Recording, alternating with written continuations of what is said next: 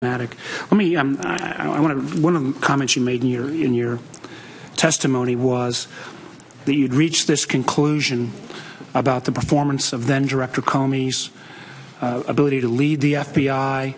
That you agreed with um, uh, Deputy Attorney General Rosenstein's memo. The fact that you'd worked with Director Comey for some time. Did you ever have a conversation as a superior of Director Comey with? His failure to perform or some of these ac accusations that he wasn't running the FBI in a good way or that somehow the FBI was is in turmoil. Did you have any conversations with Director Comey about those subjects? I did not. So you were his his superior, and there were some fairly harsh things said about Director Comey.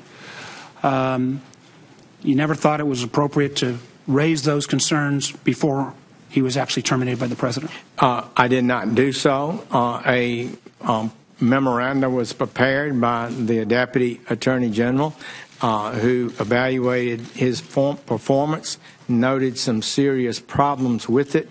One of, and you agreed with those uh, I agreed with those. In fact, uh, Senator Warner, we had talked about it even before I was confirmed and before he was confirmed.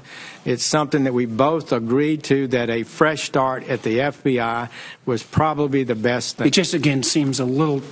I could understand that if you talked about that before you came on, you had a chance for a fresh start. There was no fresh start.